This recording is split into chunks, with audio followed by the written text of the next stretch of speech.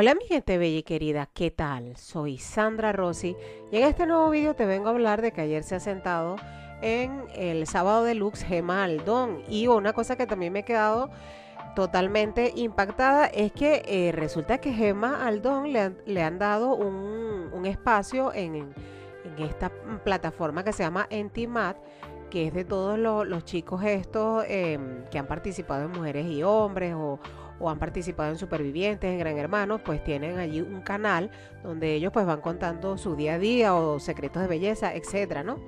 Pues resulta que yo no sabía que Gemma Aldón pues, tiene un canal en Empty Mat, pero bueno, ella ayer se ha sentado en el sábado deluxe. Eh, sinceramente será porque, claro, no está acostumbrada a, a un plato de televisión, a los focos, quizás se corte un poco, quizás con el tiempo pues desarrolle experiencia y pierda el miedo en los platos de televisión. Pero bueno, ella ayer se ha sentado ahí, sinceramente no dijo la gran cosa, ellos vendieron como que prácticamente iba a a hablar mal de la madre por el tema de la casa. La madre la sacó del piso y se tuvo que ir a vivir. Así fue como vendieron la historia. Se tuvo que ir a vivir con la abuela, eh, con su propia hija. Bueno, el tema es que ella se acaba de separar de, del padre de su niña. Creo que tenía más de 10 años junto con esta pareja.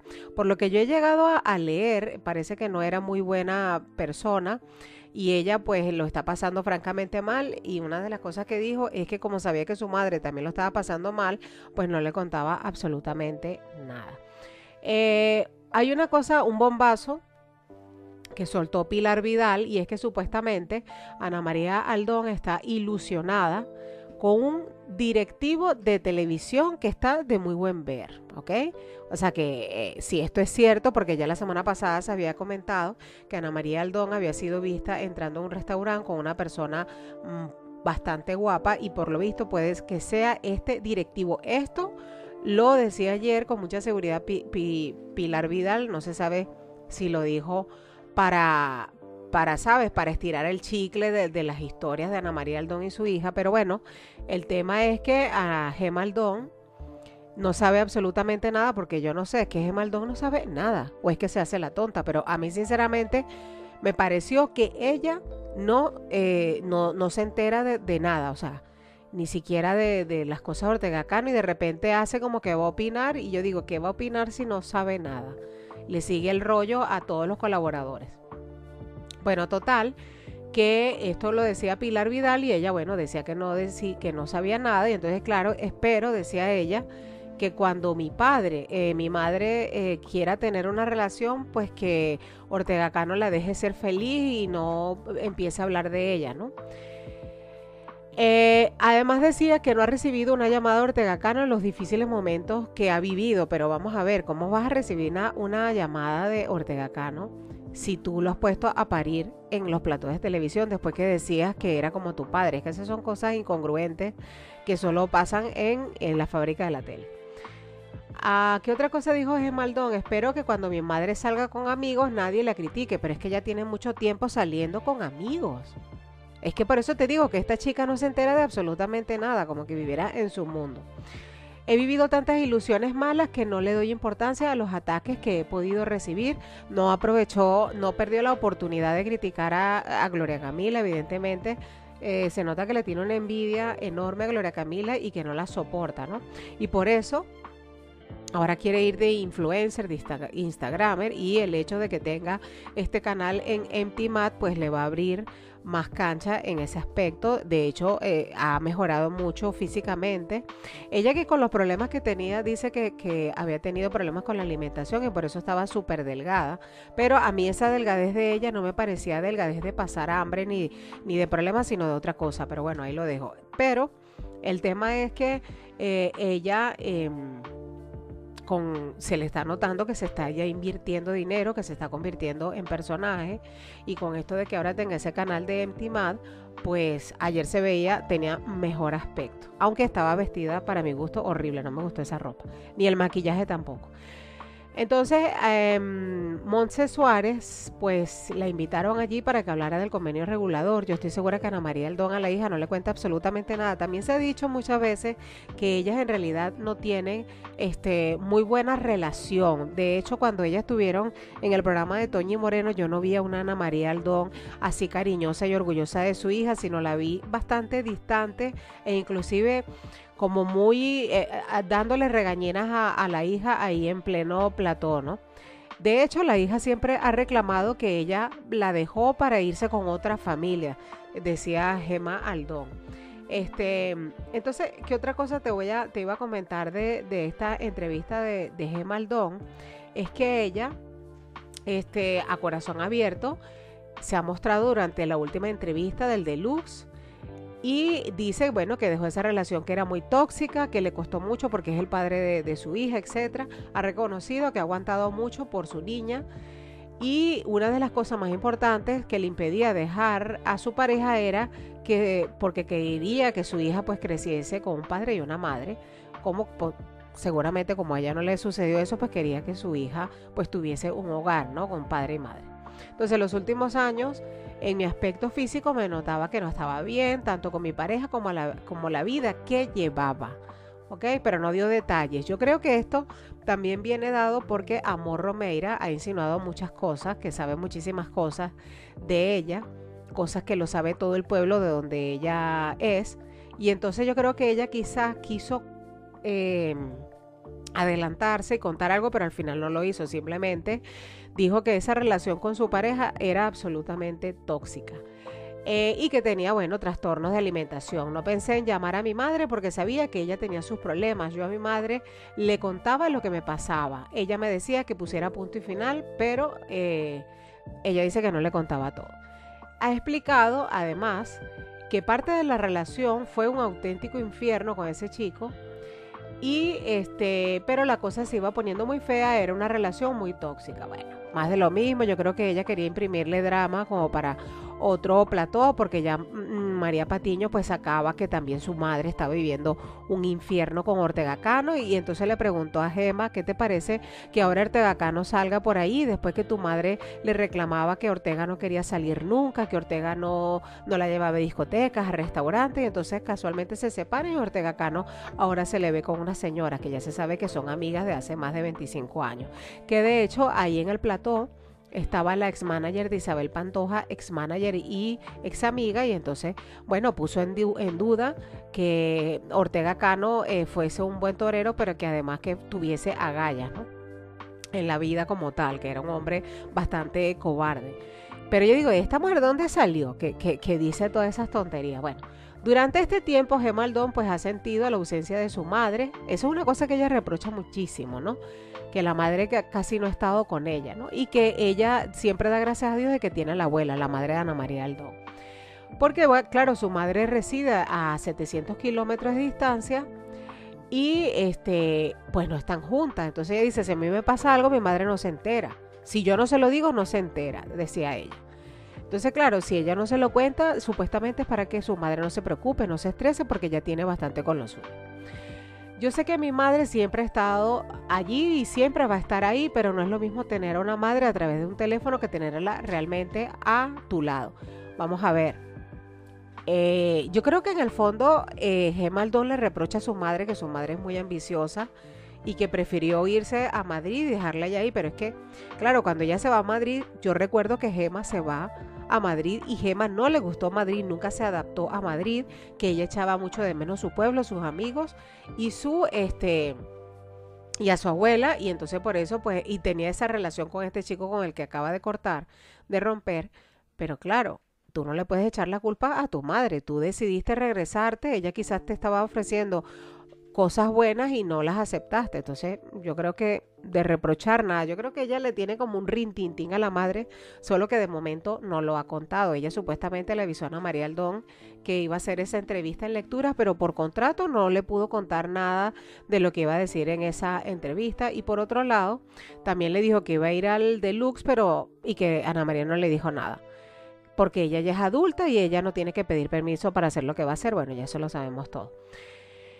Entonces, este, ella decía respecto otra vez a su relación, porque se volcaron mucho en ese tema, que le costó mucho pues dejar esa relación con su ex, la cosa se iba poniendo muy fea, era una relación muy tóxica, yo decidí que no quería que mi hija viera situaciones que pasaban, eh, pero no profundizó en detalles.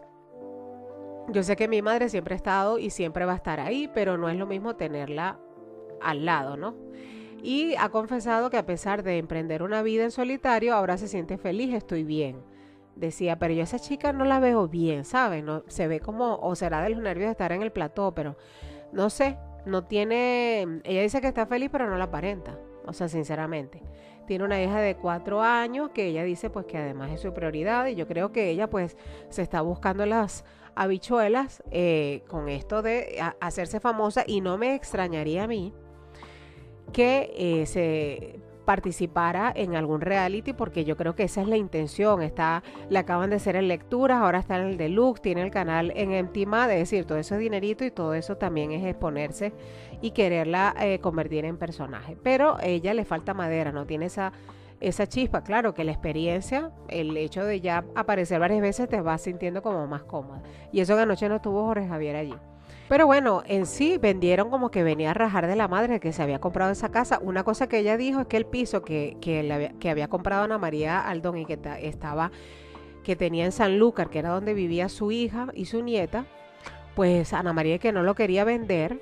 Y entonces ella le insistió, le insistió, le insistió, véndelo, véndelo, porque claro, ellos querían que dejar claro, además, que eh, José Ortega Cano le va a pasar de pensión al niño los mil euros, mil euros mensuales, que es todo tela, eh, mil euros mensuales para el niño y todos sus gastos, pero que ella supuestamente no está recibiendo ni un euro, que no quiere absolutamente nada de Ortega Cano.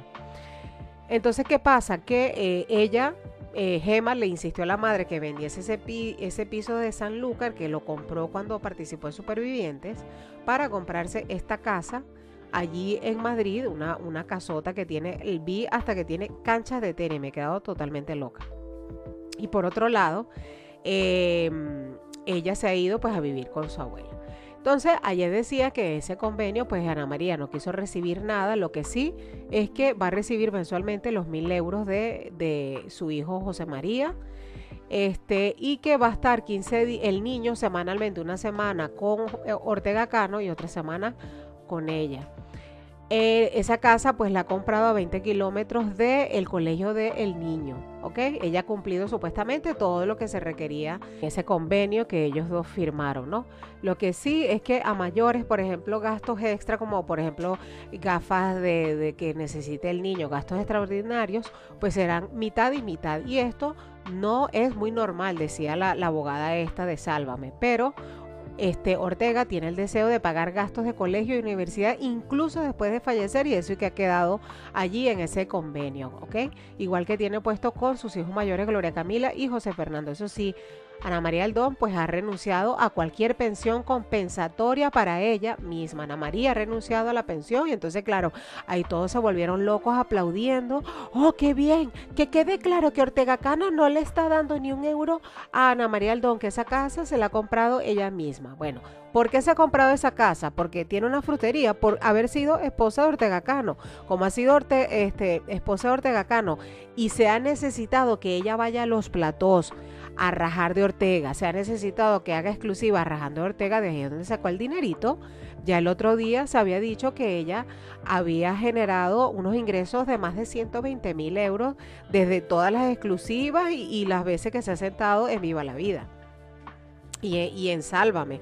Es decir, estas participaciones que ella está, teniendo en el programa este de los viernes de, de cantar, entre comillas, pues eso, eso era un contrato que creo que eran como de 80 mil euros, o sea, cada presentación 20 mil euros, o sea, la noche que ella aparece y son 20 mil euros tranquilitos para ella, ¿no? Claro que tiene que pagarle al manager y todo esto, pero es muchísimo dinero que jamás lo va a hacer en la frutería y también lo hubiese hecho si se hubiese casado con un desconocido, pero como se ha casado con Ortega Cano, obvio que si habla o cuenta o lo que sea o se presta lo que sea, evidentemente va va a cobrar un pastón un dineral que le sirve para comprarse la casa que se ha comprado y para decirle a Ortega Cano este, que no le dé nada porque ella necesita quedar por arriba. O sea, ella, una de las cosas, creo yo, que le ha dolido a Ana María Aldón es que se diga que ella se casó por conveniencia o que ha utilizado Ortega Cano para tener el estatus que, que, tiene y eso le molesta. Yo lo que tengo, pues lo he trabajado yo, me lo he currado. Claro que te lo has currado, te curraste casarte con un señor, estar con él 10 años, porque siempre quieren poner que Ana María, como para justificar todo, ¿no? Como que es la Virgen María. Que Ana María, como estuvo en los peores momentos de Ortega Cano, ah, sí, hay que hacerle ¿sabes? Un castillo, hay que hacerle un pedestal, hay que ponerla como la mujer más buena del mundo. Esta mujer jamás, creo yo, dio puntada sin hilo. Y evidentemente tú cuando te casas con una persona que realmente quiere, según, según es así, es para estar en las buenas y en las malas. Y entonces, en ese sentido, pues ella no ha hecho nada sobrenatural, ni, ni ha hecho ningún esfuerzo. Ha estado en las buenas y en las malas, pero Ortega Cano le alquiló un piso que creo que costaba 4 mil euros mensuales. Un pisazo que me imagino que ella no iba a pasar trabajo de nada. Le pagaría con todos los gastos incluidos más el coche.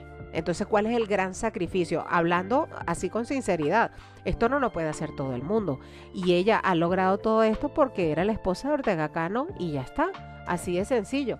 Bueno, en resumidas cuentas, Gemaldón, eh, esa esa entrevista nada que ver, no, no, no aportó nada de lo que estaban vendiendo, como que le iba a reclamar a la madre que la dejó sin piso y ella vino a aclarar que la madre vendió ese piso con el consentimiento de ella, con, con ella diciéndole sí, véndelo, mamá, véndelo, porque Ana María que no lo quería para que se comprara esta casa y que esta chica pues ya está, va a generar sus ingresos y no me extrañaría a mí que eh, próximamente pues esté en un reality y ahí sí que se va a desdoblar y se va a venir arriba pues rajando de Gloria Camila y Ortega, que es lo que quiere. Lo increíble es que ella en un principio dijo que ella consideraba que Ortega era como un padre para ella, que no tenía nada que reprocharle porque además era el padre de su hermanito y mira, se ha venido arriba y se presta a todas estas cosas. Eh, que, que signifique o que represente pues rajar de Ortega Cano. Bueno, mi gente bella, esto era todo lo que te quería comentar en este video. Si te ha gustado, como siempre te digo, regálame tu like, suscríbete, activa la campanita, compártelo si te apetece. Bueno, haz lo que quieras con este video, pero no te olvides darle el like. Un besazo enorme, mi gente bella, y nos vemos en el próximo video. Chao.